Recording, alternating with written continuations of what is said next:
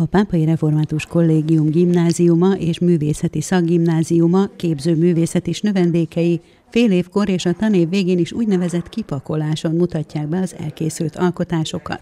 Most épp a 11. M van soron, ők egy rendkívül tehetséges csapat és jó közösség, mondta a tagozatvezető Kerpel Péter. Tehát ez a éves, második fél éves munkának a gyümölcse, és ez dönti el igazából, hogy év végén a különböző szakmai tantárgyakból milyen jegyet fognak kapni.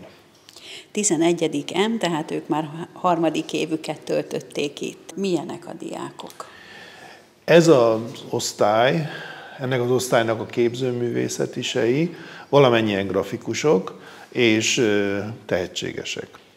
Azt lehet látni, hogy, mint most már sok éves tapasztalat, hogy aki motiváltságban, szorgalomban jól áll, tehát van ereje, energiája, érdeklődése, a kötelezőn túl foglalkozni a tanulmányok készítésével, azoknál tapasztalható a gyorsabb fejlődést, meg az is, hogy rátalálnak érdekes megoldásokra, több a sikerélményük, és ez tovább inspirálja őket. Úgy, és nem csak őket, hanem a velük együtt dolgozó osztálytársakat, csoporttársakat, sőt, alsóbb éveseket is.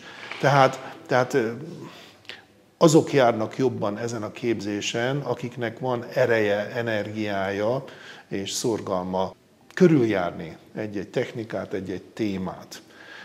És nagyon sokkal, tehát van akinek, például aki mögöttem, körülöttem van, Jól utcának is, annyi alkotása születik, annyi tapasztalatot gyűjt össze, hogy aztán amikor versenyre megy, akkor is dobogós helyezést ér el, mert egész egyszerűen bármilyen feladatot lehet már neki adni, ő valamilyen módon találkozott olyan kihívással, és jól reagál rá, versenyhelyzetben is jól tudja megoldani, és ezt észreveszik a szakemberek.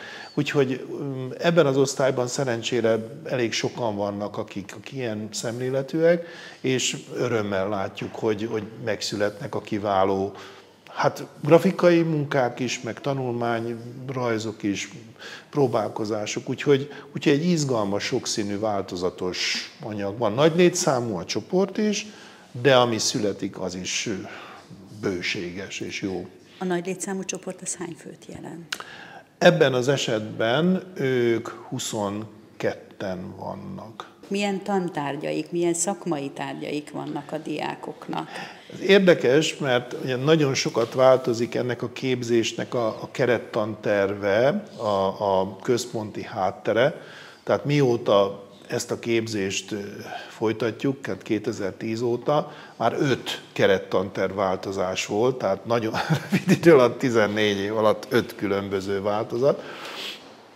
De az mindenképpen jellemző, hogy ahogy az évfolyamokban haladunk fölfelé, úgy egyre több a tantárgy. Tehát az alsóbb évfolyamokon inkább alapozó, tehát rajzfestés, mintázás, grafika történet, grafika alaptechnikájának a megismerése, művészettörténet, digitális grafika, és ahogy haladunk fölfelé, úgy ágaznak szét ezek, tehát, tehát lesz egyre többféle részterülete ezeknek, elméletben, gyakorlatban is, de igazán majd a 12. 13. lesz az, amikor nagy óra számban és szinte 13-ban szinte csak a, a festészeti, grafikai feladatokkal találkoznak, alig-alig van más típusú órájuk, tehát ott, ott 30 óra fölé emelkedik a szakmai órák száma. Tehát ez egy ilyen fokozatosságot mutat.